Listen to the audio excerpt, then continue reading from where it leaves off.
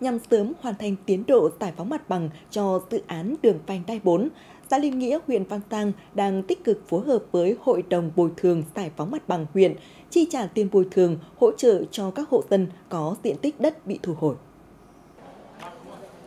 Dự án đường vành đai 4 vùng thủ đô Hà Nội đi qua địa bàn xã Liên Nghĩa có diện tích phải thu hồi là trên 40.000 m2 đất nông nghiệp qua hai thôn CD Quán Trạch và thôn Bá Khê.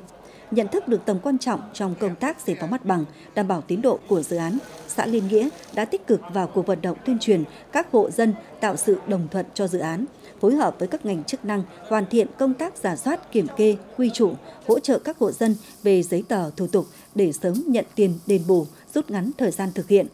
Theo phương án bồi thường hỗ trợ đối với các diện tích thu hồi đã phê duyệt, toàn xã có 132 hộ gia đình có diện tích thu hồi với tổng kinh phí trên 24 tỷ đồng.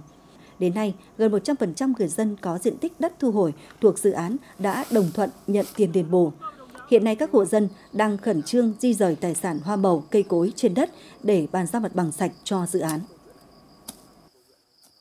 Gia đình cũng có 140 mét vuông, đã nhận bồi thường đất và hỗ trợ cây, hoa màu trên ờ, ruộng là được 87 triệu. Bồi thường, hỗ trợ với mức như hiện nay là với gia đình là rất phấn khởi và thỏa đáng. Các cái tài sản còn lại trên đất, từ giờ đến 20 21 là gia đình sẽ hoàn thành bàn giao 100% mặt bằng